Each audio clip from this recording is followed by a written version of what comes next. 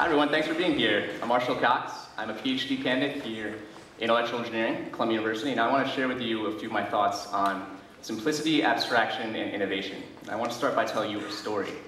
This is the story of James Paige and the Paige Compositor. Uh, James lived in the 18, 1800s, and uh, this is the era of the printing press, and he realized, among other people, that the first person to automate the process of typesetting for printing presses is going to make a lot of money. So he set out to invent this machine, and he invented one of the most amazing machines ever created, particularly at this time. It was the most complex machine ever made. It had 18,000 different parts, 18,000 separate homemade steel parts that James Paige made himself and assembled into a machine that not only was the fastest typesetter, faster than any human, faster than any other machine, it also had auto-correction, it had self-aligning, and it was also self-destructing. And that's because when you have something with 18,000 parts, it's inevitable that one of those parts is going to break. And in the case of, this compositor, it broke all the time, and it would take about three months to fix because you have 18,000 places to look. As an aside, it was also one of the most complex patents ever filed. That's 206 pages of patent drawings. It was known as the whale in the, in the patent office. Uh, one patent examiner died during the examination, and, and two people actually went insane, and their insanity was directly attributed to the sheer intellectual complexity of this patent. And sadly, it was also a total and complete commercial failure. And that's pretty much attributed to the fact that it was so complex. It was so complex that it could not only, it not only could not work for more than five minutes, but even if they had fixed that problem, it was so complex it would have cost an astronomical sum and no one would have ever bought it. And so this is a picture of the last copy of this in a museum. Uh, so much money had been spent on this machine, and, and, obviously it was a pretty big failure, that it was a big media sensation. And this is a still image from the movie The Adventures of Mark Twain, you can see them lampooning the Paige compositor here with these crazy arms. And it was in The Adventures of Mark Twain because Mark Twain invested in and lost everything he had, all his, his proceeds from Huckleberry Finn on, on this venture. And he had some pretty uh, colorful things to say. This is an amazing Mark Twain quote. You have to read this. Um, Mark Twain lost everything, spent the rest of his life trying to get out of debt because of this, and despite that fact, he still, in the same document, the same autobiography, had something pretty amazing to say about Paige. And I bring this up for two reasons. First of all, my middle name is Paige, and I'm actually a relative of James Lee Paige, so I didn't want to just throw him under the bus. But uh, the second reason, the big reason is that people thought he was a genius. He was a genius. Mark Twain said that in all the ages he has no peer in terms of his prowess with steel and engineering. And that's important to note because no matter how good you are at something, you will fail if that project is too complex. And complexity kills good ideas.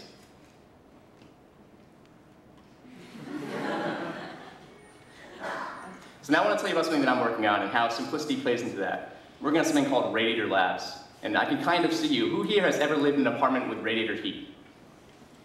A lot of us, I assume. We're, we're all, a lot of us live in Columbia, so that's the case. How many of you who have lived in an apartment with radiator heat had to open your window in the middle of the winter because it was too hot? Should be almost all of us.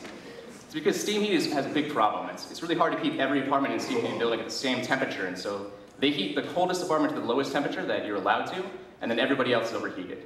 New York City wastes about a billion dollars a year, just New York City, in overheating wastes associated with this. I lived in a particularly bad apartment three years ago at Columbia, but don't tell them I said that. Um, this is a, a, temperature versus time scale of, of, what my apartment was like. And this does not do justice to how, how hot it got. It would routinely get to 85 degrees. It was an unmitigated hellhole. And one day, I just couldn't live with it anymore, and I banded together with a couple of my colleagues to figure out a way to fix this. And we're all engineers, we're, we're pretty capable people, but we have no idea, we're not gonna you know, get into the steam system of a Columbia building, so we thought differently about it, and we, we came up with a solution that was shockingly easy. And that idea was to basically wrap the radiator in a blanket. The room should get cold then, right? And then we attached a fan to that enclosure and pulled heat out when, when the room actually called for it. And we built it, and we installed it, and it actually worked. It was amazing. My room was a paradise after I built this thing. And just consider what went into it. It was shockingly simple, three parts. Um, by the way, we've since gotten better components, but the first version had glorified bubble wrap as the insulation. We had a fan you could buy at Radio Shack, and there was one actual hard part, one part of complexity that we had to deal with, which was we needed something that could sense temperature and then drive the fan based on that temperature, and that was hard. And even though I'm an electrical engineer, it would have taken me a bunch of time to do that, I might not have, had not something called the Arduino existed. Arduino is, uh, if you don't know what it is, you should research it. It's, it's an amazing piece of hardware. super easy to use. What it did is it took all the complexity of that part of the project and made it so simple for me. This process is called abstraction. Abstraction makes complex things easy. So when the Arduino did this for me, The process that I had to go through to build this was three very simple things, and I was able to build this prototype in one night. As another aside, people like this idea. And I say this because simplicity is also compelling. Uh, this year we won the MIT Clean Energy Prize, and we're on the, the New York Green Tech 50, which is really amazing. And I think one of the big components that got us there is the fact that this idea is so simple, so easy to understand, and when someone sees it, they say, my God, how come I didn't think of that? I think it can't be overstated how much of an importance that played in the role of us, us getting, having so much support. So I want to finish up just with a conclusion, try to, oops, try to tell you, uh oh that was the big finish. Try to tell you, like, what I'm trying to tell you here, which is that complex problems have simple solutions, and that's an obvious statement. But it's not always obvious when you're working on a particular problem. James Paige developed the compositor to basically mimic the motions of a human operator typesetting. And that's because that's what, you know, everyone, no one had done anything else.